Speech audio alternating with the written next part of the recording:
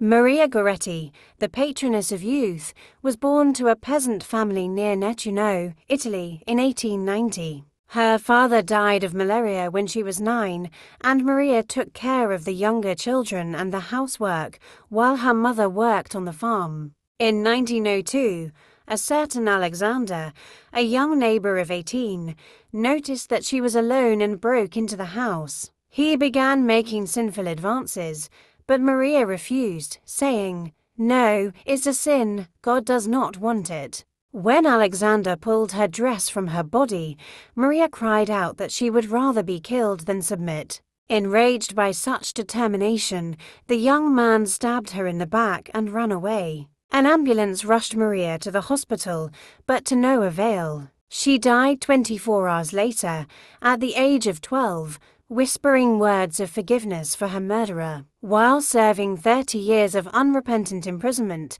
Alexander had a vision in which Maria Goretti offered flowers to him. Thereafter, he was converted and begged forgiveness from Maria's mother. Maria Goretti was canonized in 1950 by Pope Pius XII, with her mother present, a unique event in the history of the Church.